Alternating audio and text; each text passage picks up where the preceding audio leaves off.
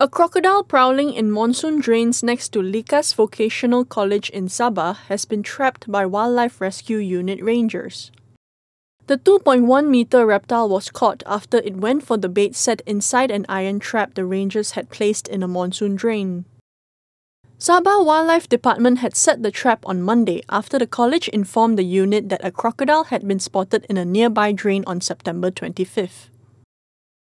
According to the department, there was a growing number of crocodile and snake sightings in the state capital, particularly after the heavy downpours earlier this month. The recent heavy rains and flooding are believed to have caused many crocodiles to make their way from the wild and rivers deep in forest reserves towards the city.